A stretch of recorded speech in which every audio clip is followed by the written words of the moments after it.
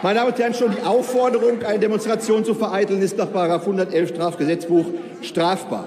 Die Blockade selbst ist strafbar nach 21 Versammlungsgesetz. Auch Beihilfe und Anstiftung ist strafbar, meine Damen und Herren. Schließlich ist strafbar die Unterlassung des Eingreifens durch die Polizei und es gibt auch den Straftatbestand der Strafvereitelung im Amt.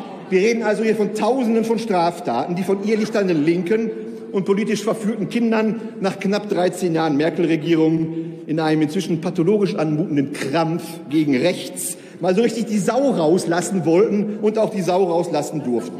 Meine Damen und Herren, Hunderte von Straftaten wurden wahrscheinlich auch verübt von der politischen Polizeiführung und von der politischen Führung sowieso in unserem Land.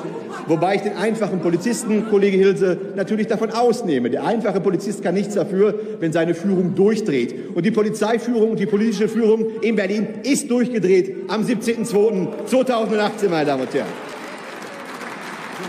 So. Ihre Redezeit ist zu Ende. Deshalb höre ich jetzt auch auf, Frau Roth.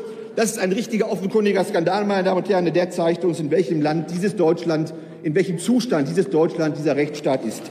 Dieser Zustand ist erbärmlich, meine Damen und Herren. Er ist erbärmlich und er wird, da bin ich sicher, sich so lange nicht ändern, wie Sie von den Altparteien regieren. Vielen Dank.